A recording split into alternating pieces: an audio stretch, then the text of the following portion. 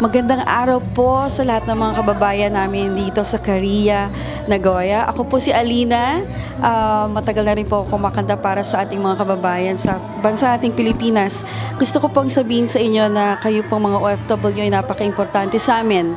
At alam na alam ko po na mahal na mahal kayo ng, ng ating presidente at maraming pong mga proyekto na nag-aabang para sa inyo dito. And ah, I'm glad that I'm here in Korea to celebrate yung ah, ah, pamaskong handog sa inyo ng mahal nating presidente, ang Paskuhan para sa for the benefit of uh, Marawi uh, soldiers. And maligayang Pasko po sa inyong lahat. And I want to thank Japino TV for having me today. Merry Christmas!